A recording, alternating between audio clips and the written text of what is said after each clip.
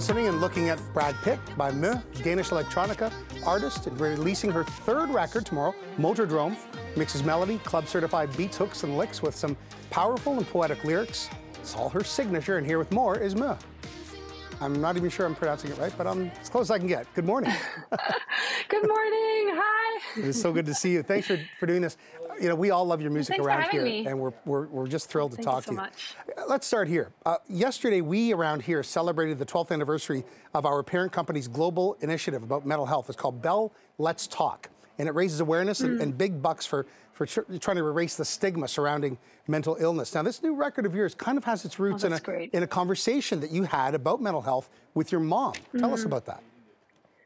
Yeah, that's true. I, after I'd been like, for like seven years or something, I'd been like just traveling the world and like making music and touring and doing all these things, which is obviously like really cool. I'm really privileged and lucky mm -hmm. to be mm-hmm. doing that. But for a long time, I just didn't really think that you know that i had the possibility to really take a break or like take time for myself because i think in this music industry there really is like just like an agenda that's like keep going keep let's keep the wheels rolling and i think that was when i experienced anxiety and realized being sort of like out of control mm. for the first time in my life I see. Uh, that i need to really take a break and take this serious and just get back into my body because for so many years i'd just been like running on adrenaline just like ah you know so so yeah, it was a big turning point for me, mm. and writing this album really helped me.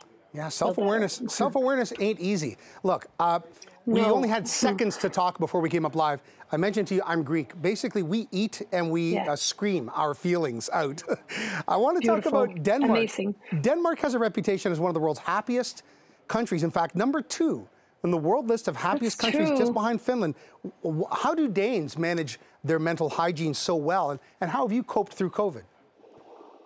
I mean, to be honest, you know, Denmark is a very rich country, very privileged, very small. So, you know, I and and so the government sort of like, you know, we have free healthcare and free schools and stuff like that. I'm sure that that's something that heightens the general uh, uh, happiness.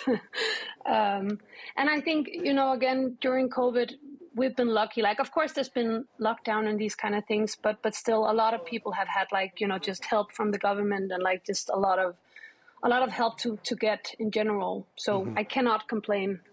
You know, Denmark just lifted uh, most of its COVID virus restrictions like days yeah. ago. How, how, much have you missed live music as a performer and a fan? Oh my God. I mean, actually, both like, I mean, I miss being on stage as a performer so much, but I really, really also just miss being at a show, drinking a beer, and just like, ah, mm-hmm. you know, like it's, it's just one of my favorite things because that's when you really connect with a different like with all these people but also with a different part of yourself. So yeah so i miss it so much. I got a final question for you. Inspiration. I, I, use this quote often. Quincy jones once said if you make music for money god leaves the room. Mm. Mm. what what uh, drives you? What, what's your creative what's your creative cosmos? What does it for you? I mean for me like not to sound like too spiritual or anything, but for me, it's about trying to create magic within the real world, like mm. this alternate reality uh, alongside with the real world. Uh, I think it's a way to just, yeah, I don't know, make life more magical and yeah. Yeah. Your music is medicine, and it uh, goes down real good. Uh, thank no, you so thank much. you so much. Motordrome's the new record. It's out tomorrow. I hope everybody goes out and gets it, downloads it, whatever. Have a great day, and thanks for making great music. Thank you so much, and you too.